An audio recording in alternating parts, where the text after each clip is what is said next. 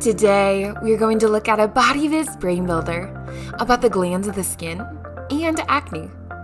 The integumentary system, or integument, is composed of the skin and its derivatives, which are glands, hair, and nails. This brain builder discusses the glands of the skin and how some of these glands are linked to the common skin disorder termed acne.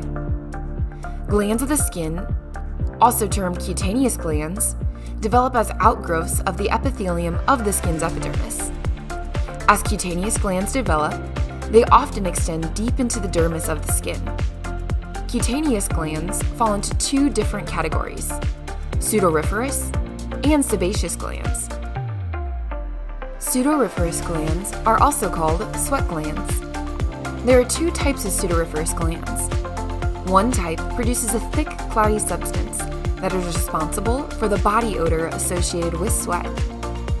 These coiled tubular glands release their secretions into hair follicles and are most numerous in the axilla, areolar of the breast, and perianal region. A second, more numerous type of sudoriferous gland is not associated with hair follicles and releases its secretion directly onto the surface of the skin. These sudoriferous glands are distributed over the entire body, with the palms of the hands and soles of the feet having the highest number of these glands. The clear secretion produced by these glands is termed sweat. Sweat assists in the thermal regulation of the body and the excretion of water and electrolytes. Sebaceous glands, also called oil glands, are typically associated with hair follicles. The gland's short ducts empty directly into the hair follicle. The waxy, oily secretory product, termed sebum, is released into the hair follicle. Sebum functions to inhibit the growth of bacteria within the hair follicle and on the skin surrounding the follicle. It also lubricates the hair and skin adjacent to the hair follicle. Acne is the most common dermatologic condition within the United States, affecting nearly 50 million people per year.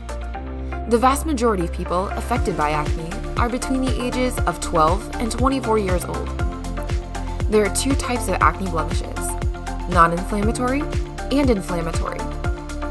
Non inflammatory blemishes do not cause swelling of the surrounding skin tissue, are limited to the skin pore, and typically do not cause scarring.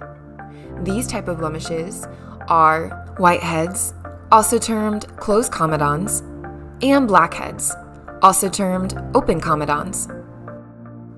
There are four types of inflammatory acne blemishes. Papules present as bumps under the skin that are raised in appearance and pink in color. Pustules, also termed pimples, form when a bacteria infection of a pore has caused a painful, red, raised area with a circular white center. A pustule is filled with a collection of white blood cells termed pus. Nodules are harder and more painful than a papule and extend deeper into the epidermis of the skin. This blemish affects the skin below the surface and may result in scarring or pitting of the skin. Cysts are the most severe form of acne blemish. Here, the bacterial infection has affected deeper regions of the epidermis and dermis of the skin. Pus from the bacterial infection has collected deeper into the skin, resulting in a painful and rather large lumps. This type of blemish also often results in scarring or pitting of the skin. Next, we will look at the causes and treatments for acne, and finally, give a patient example. Acne is caused by the clogging of a skin pore or hair follicle with sebum and the cellular fragments. Finding the correct treatment for acne can be a journey. Typically, it is recommended to try treating acne with over the counter, non prescription acne treatments for several weeks prior to seeing a physician. In addition to the over counter medications, washing the affected areas with a gentle cleanser, avoiding irritants such as sunscreen, oily or greasy cosmetics, or acne concealers, and avoiding picking or touching the affected areas can help. If such treatments do not produce the desired results, a dermatologist should be consulted. a prescription medication, or other treatments intended to reduce the bacterial infection and associated redness and swelling will often be recommended by the physician. Finally, let's take a look at a patient example. You receive your patient's file and take a look.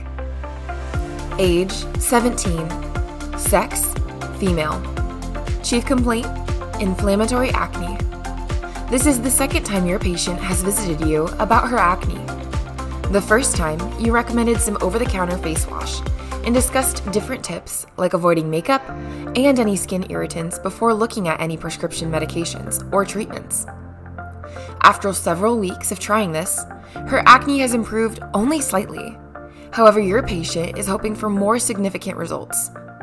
You examine her skin, and based on the different types of inflammatory acne she is facing, you prescribe a topical antibiotic to hopefully help with the bacteria and discuss a morning and nighttime skincare routine with a plan to see your patient in eight weeks to see how this treatment is working. This is a classic example of acne. Thank you for watching this Brain Builder video. Please like and subscribe to our BodyViz channel. Or, if you're new at BodyViz, check out our other anatomy resources and schedule a demo at bodyviz.com.